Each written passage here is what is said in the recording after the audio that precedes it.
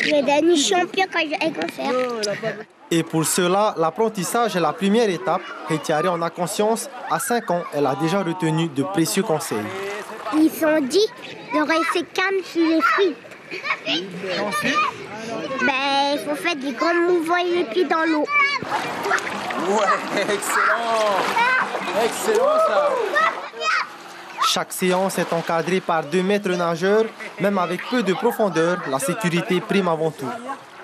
Dans une piscine euh, mobile comme ça, c'est vraiment qu'il n'a pas la profondeur. Donc du coup, les enfants, ils sont tout, tout, tout de suite en situation d'apprentissage. Donc là, il, faut qu'ils se mettent dans les bains déjà dès le départ. Le projet Vaimané, c'est l'eau qui vient à l'école et c'est l'eau qui vient vers les enfants.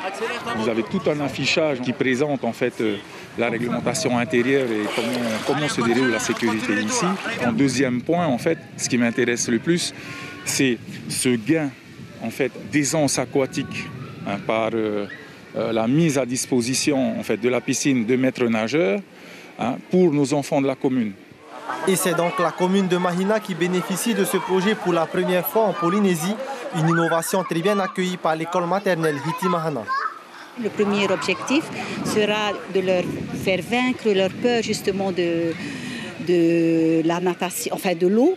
Et puis après, le deuxième objectif, ça va être vraiment un objectif sécuritaire pour que s'ils se trouvent dans des situations où voilà, ils sont un peu en difficulté dans l'eau de mer ou en piscine, les enfants ils puissent réagir euh, correctement. Euh, Marina est, est fière d'accueillir ce type de projet. On a investi en temps et en heure. On a investi notamment sur toute la partie sécurité. On est entouré d'eau ici en Polynésie et la meilleure façon d'aider un peu nos enfants polynésiens, c'est de les apprendre à nager. La piscine mobile devrait faire le tour des écoles de Tahiti avec un seul objectif, apprendre aux enfants à nager en toute sécurité.